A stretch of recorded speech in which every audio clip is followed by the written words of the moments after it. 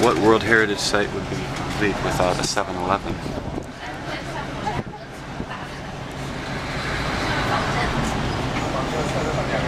about it.